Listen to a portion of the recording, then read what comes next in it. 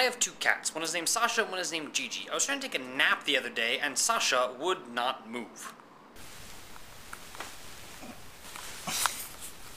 This is me attempting to sleep on top of my cat. Well.